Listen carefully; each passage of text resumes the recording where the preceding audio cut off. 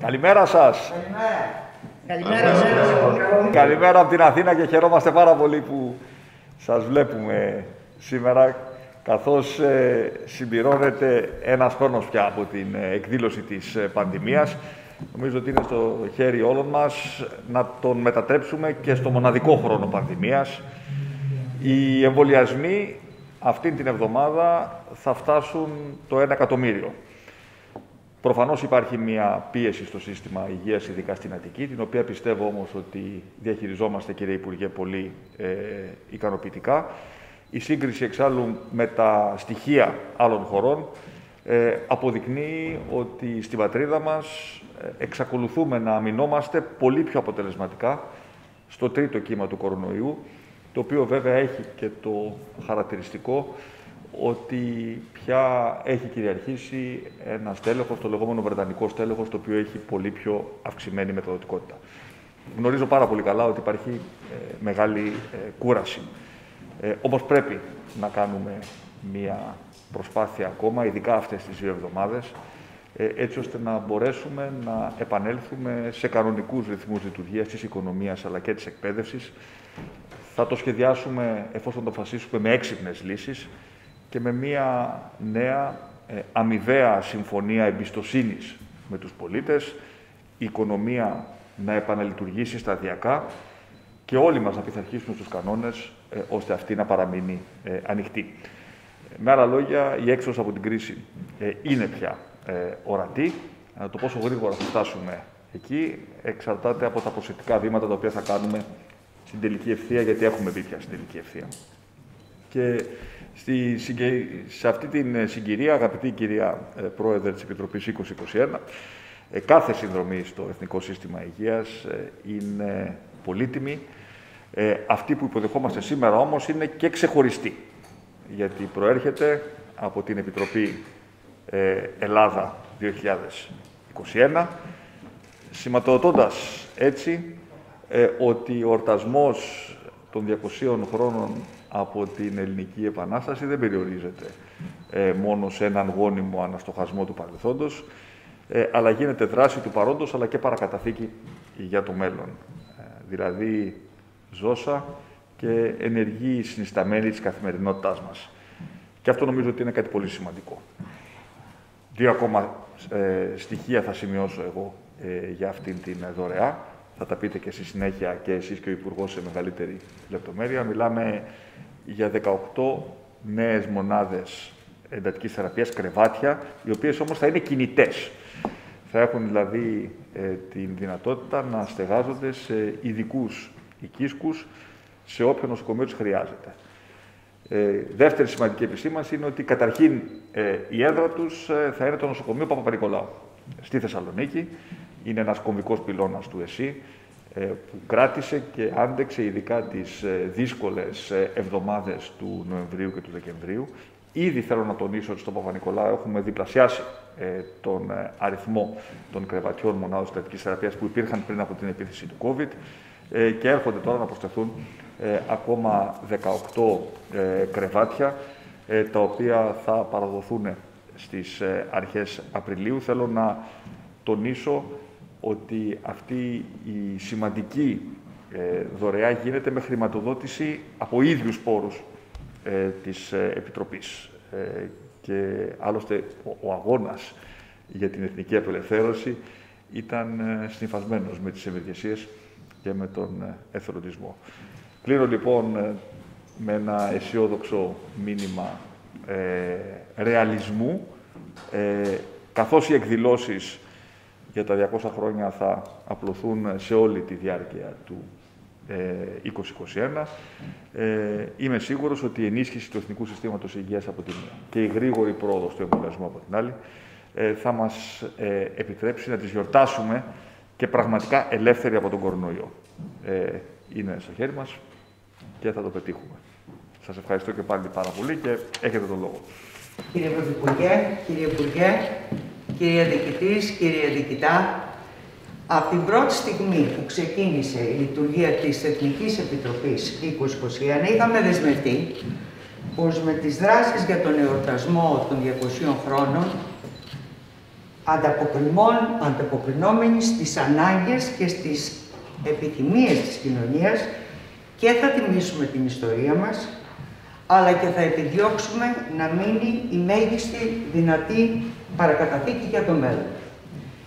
Συνεκτιμώντας όμως τα δεδομένα της συγκυρίας που βιώνουμε, που διανύουμε, αποφασίσαμε να συνδράνουμε με ουσιαστικές πρωτοβουλίες στην αντιμετώπιση της πανδημίας, που είναι και το μείζον θέμα για τον καθένα και την κάθε μία από εμάς. Η πρώτη μας πρωτοβουλία, όπως θυμάστε, ήταν η οικονομική υποστήριξη έρευνας ομάδας επιστημόνων ιατρών του νοσοκομείου Παπα-Νικολάου στη Θεσσαλονίκη για τη δημιουργία ενός καινοτόμου φάρμακου κατά του κορονοϊού.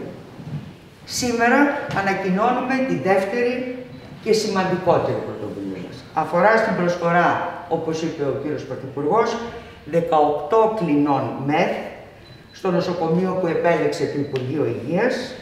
Οι κλίνες θα παραδοθούν πλήρως λειτουργικές τόσο σε εξοπλισμό όσο και σε αναλώσιμα και διασυνδεδεμένες κτηριολογικά με το νοσοκομείο για να μείνουν και μετά το πέρας της πανδημίας για τη στήριξη του Εθνικού Συστήματος Υγείας. Και η κατασκευή, όπως γνωρίζετε, ήδη προχωράει. Κύριε Πρωθυπουργέ, θέλω να υπενθυμίσω ακόμη μια φορά, όπως είπατε, όλα τα έσοδα της Επιτροπής Ελλάδα 2021 προέρχονται από την κοινωνία. Είτε μέσω των χορηγών μας, είτε και από την πώληση των νομισμάτων του νομισματικού μας προγράμματος. Στόχος και δέσμευσή μας, κύριε Πρωθυπουργέ, είναι και το τελευταίο ευρώ από τα χρήματα αυτά να επιστρέψει στην κοινωνία μέσα από τις δράσεις μας.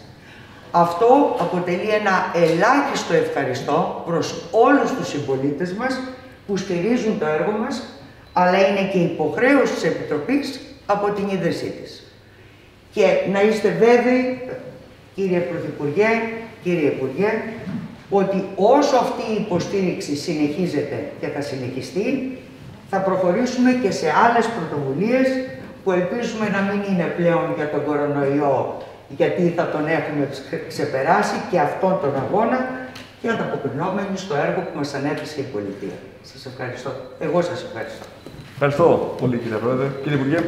Νομίζω ότι ε, ο Πρωθυπουργός τη χώρα, κ. Κουτσοδάκη,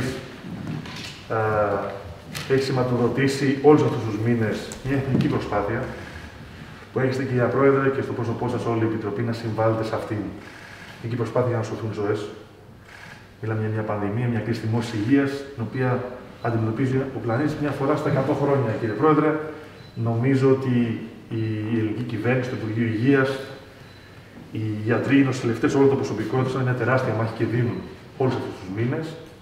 Νομίζω ότι όλη η ελληνική κοινωνία, κύριε Πρόεδρε, αναγνωρίζει τους εμβολιασμούς, το πόσο οργανωμένα, δομημένα και με σεβασμό ε, στην αξιοπρέπεια των συμπολιτών μας και με προσπάθεια να μην ταλαιπωρηθούν και να μπορέσουν να εμβολιαστούν γρήγορα, με ασφάλεια. Προχωράμε το πρόγραμμά μας. Παράλληλα όμω δίνουμε και τη μάχη. Η μάχη με τον COVID δεν έχει σταματήσει αυτή η μάχη. Νομίζω ότι βρισκόμαστε στην τελική ευθεία. Δοκιμάστηκε η Θεσσαλονίκη και η Βόρεια Ελλάδα. Οπότε η συνεισφορά σε αυτών των 18 μέτρων νομίζω ότι είναι αξία πάρα από 2 εκατομμύρια ευρώ η προσφορά της Επιτροπής. Ε, είναι πάρα πολύ σημαντική. Το νοσοκομείο Παπα-Νικολάου, όπως είπε ο κ. Πρόεδρος, είναι κομβικό στην προσπάθειά μας στο Εθνικό Σύστημα Υγείας στη Βόρεια Ελλάδα. Προφανώς θα αξιοποιηθούν αυτές οι ΜΕΘ τώρα για τον COVID. Αύριο, κύριε Πρόεδρε, δυστυχώς υπάρχουν ανάγκες τεράστιες τροχέα, υπάρχουν ε, ανάγκες και για πιο νέους ε, συνανθρώπους μας και συμπολίτες μας. Ε, μια μας δίνει ευκαιρία να ευχαριστήσουμε όλους τους εργαζομένους στη Βόρεια Ελλάδα και εσάς βέβαια για την ευγενική προσφορά. Πριν δώσω τον ε, λόγο στον διοικητή της Τρίτης Υγειονομικής ε, ε, Περιφέρειας, να πω ότι και πάλι ένα μεγάλο ευχαριστώ σε όλους τους ε, ε, δωρητές, οι οποίοι έσπευσαν κατά τη διάρκεια της ε, μεγάλης αυτής κρίσης να στηρίξουν το Εθνικό Σύστημα Υγείας και δι' αυτού ολόκληρη την ελληνική κοινωνία. Ε, είτε μιλάμε σε πρώτη φάση για δωρεές ε, αναλώσιμο, είτε σε δεύτερη φάση για σημαντικές παρεμβάσεις, οι οποίες στήριξαν τις ε, υποδομές του Εθνικού Συστήματος Υγείας, όχι μόνο για να αντιμετωπίσουμε το COVID, αλλά και μακροπρόθεσμα, όπως είπε ε, ο Υπουργός. Τους είμαστε υπόχρεοι και νομίζω ότι ε, αποτελούν τέτοιες ε, πράξεις, τέτοιες κινήσεις, το καλύτερο παράδειγμα της δημιουργικής συνεργασίας μεταξύ της πολιτείας, της κοινωνίας των, των πολιτών ε, και των ιδίων των πολιτών τελικά, οι οποίοι είναι οι ε, ωφελημένοι ε, από τέτοιου είδους δωρεές. Δεσμευθήκαμε ε, ως κυβέρνηση ε, μέσα σε ένα χρόνο να διπλασιάσουμε ε, τις μόνιμες κλίνες ε, εντατικής θεραπείας του Εθνικού Συστήματος Υγείας. Και χάρη και στη δικιά σας δωρεά, τον στόχο αυτό τον επιτυχάνουμε. Και είναι μια σημαντική παραπαραθήκη ε, για το ΕΣΥ για την επόμενη μέρα ε, να είμαστε πια περίπου στον ευρωπαϊκό μέσο όρο ε, ως προς τα κρεβάτια εντατικής θεραπείας, γιατί οι άνθρωποι δεν θα σταματήσουν ε, να αρρωσταίνουν και το Εθνικό Σύστημα Υγείας πιο ενισχυμένο, πιο δυνατό, ε, με περισσότερο προσωπικό, με καλύτερες υποδομές, θα βρεθεί στην ε, επόμενη γραμμή μετά την πανδημία για να προσφέρει σε κάθε Ελληνίδα, σε κάθε Έλληνα, δωρεάν ποιοτικές υπηρεσίες υγείας. Κύριε Δικητά. Κύριε Πρωθυπουργέ, κύριε Υπουργέ, κυρία Αγγελοπούλου. Βρισκόμαστε στην ε, τρίτη υγειονομική περιφέρεια, η οποία καλύπτει τη Δυτική Μακεδονία, μέρος της Κεντρικής ε, Μακεδονίας και ένα μεγάλο κομμάτι του αστικού ιστού της Θεσσαλονίκης. Από την αρχή της κρίσης μέχρι σήμερα, κύριε Υπουργέ, κυρία Αγγελοπούλου, νοσήλευσε πάνω από 2.000 ασθενείς. Και ταυτόχρονα στις μονάδες εντατικής θεραπείας νοσήλευσε πάνω από 280 άτομα. Όλο βέβαια αυτό το χρονικό διάστημα, κατόπιν σχεδιασμού του Υπουργείου, ενισχύθηκαν οι μονάδες εντατικής θεραπείας με ανθρώπινο δυναμικό. Και εγώ από τη δικιά μου τη μεριά θα ήθελα να ευχαριστήσω για τη συγκεκριμένη δωρεά, η οποία πράγματι ενδυναμώνει τις προσπάθειες της κυβέρνησης και του Υπουργείου Υγείας για την ανάπτυξη του δημόσιου συστήματος υγείας. Σας ευχαριστώ πολύ. Ευχαριστώ πολύ, Ιωάννα. Να δώσω το λόγο τώρα ε, στο νοσοκομείο για να μας ε, μεταφέρετε την, ε, τη δικιά σας ε, εμπειρία και τις δικές σας προσδοκίες από αυτή τη σημαντική δωρεά.